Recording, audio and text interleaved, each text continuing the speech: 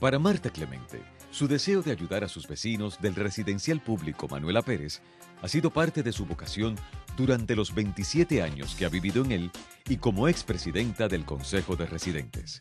Uno trabaja en esto, esto para ayudarlo de gratis, porque esto es de gratis, esto no, no tiene paga. Y me gustaba, de verdad, me gustaba hacer el trabajo. Pero lo dejé pues porque después supuestamente la compañía se iba, no estaban ayudando a uno, uno trataba de hacer las gestiones y no hacían nada y yo pues lo dejé por eso. Y decidí montar entonces yo mi, mi propia compañía.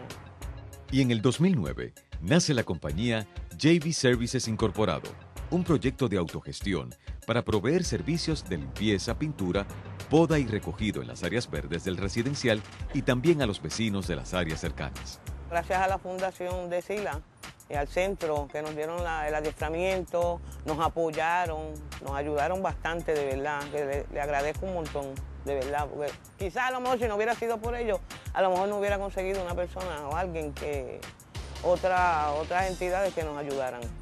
Pero gracias a ellos logré lo que yo quería. La iniciativa de JV Services busca reducir la dependencia de las ayudas económicas del gobierno y reducir las condiciones de pobreza al proveerle empleo a los residentes. A través de la venta de bizcochos, comenzaron a recaudar fondos para la compra de parte del equipo y también con la ayuda de la iglesia presbiteriana. ¿Qué le falta? Nada. La guagua. Mientras tanto, pues brego con mi carro un grupo de residentes estableció una junta y se adiestró en el Centro para Puerto Rico. Las personas que trabajan en la fundación nos dieron el apoyo de cómo hacerlo, cómo montar un negocio. Como yo, yo estaba segura y tenía fe de que lo iba a lograr, pues seguí con esto. Hasta hoy que lo que estoy esperando son contratos.